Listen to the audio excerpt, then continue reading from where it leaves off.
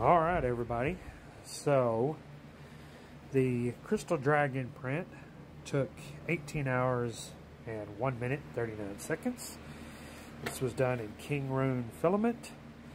And I still noticed some of these little, uh, where is it? Now they fell off, but I still noticed some those little globs of almost like burnt filament so I still need to investigate some of that. Yeah, there's one right there. Let me see if I can get it.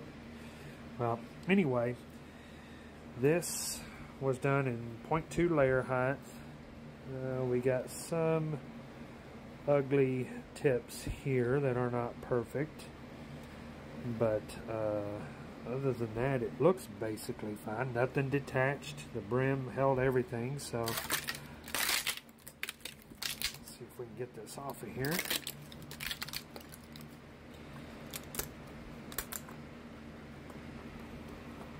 Well, it's really stuck on there. Alright. Let go. Well, bed adhesion is excellent.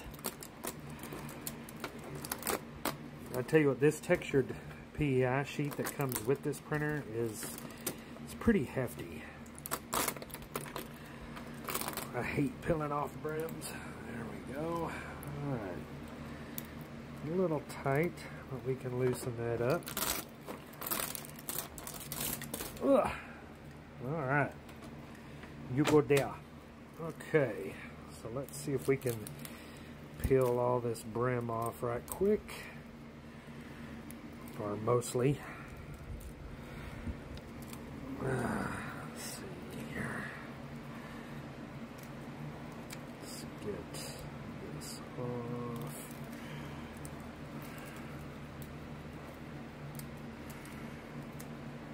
Alright.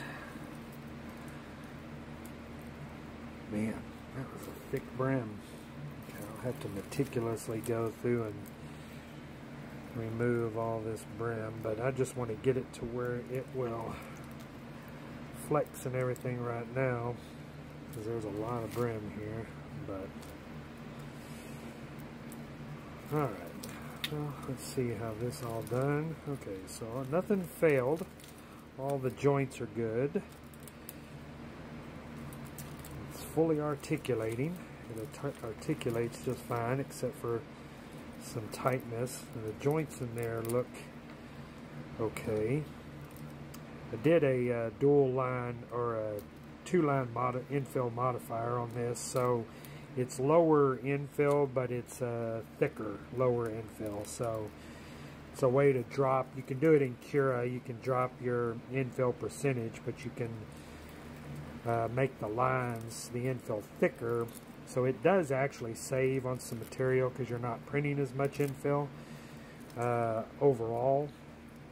And it can make the part stronger overall by increasing the line, the uh, amount of in the uh, amount, the size of the infill itself bigger, not the quantity of it, but the size of it.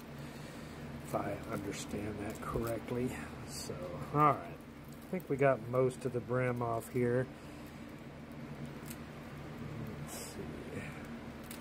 Like I said, this was Kingroon tricolored silk filament, as you can see. And I did it at lower temp. This was only like 200 or 210, I think, which is fairly low for silk PLA.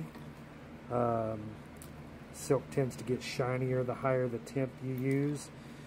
And it tends to be a higher temp, but um, I went a little bit lower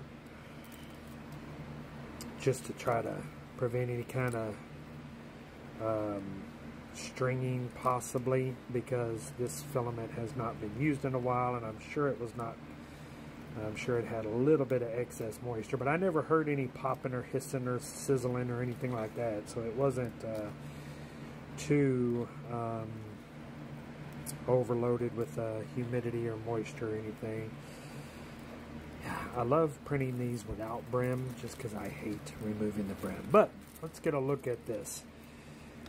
So other than I mean, everything else looks fine.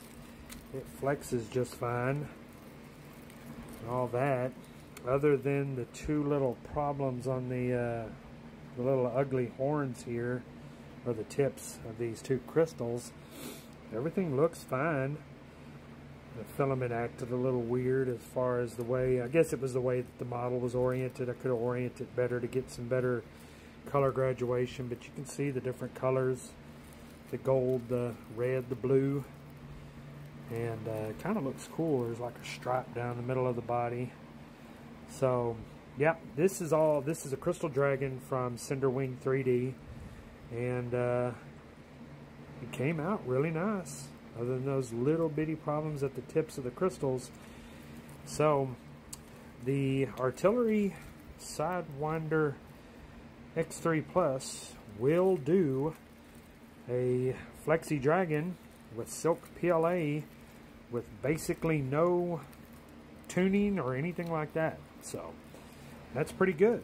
So we will continue to evaluate this machine and uh, look for some more things to print. And we will see y'all in the next. Thank y'all.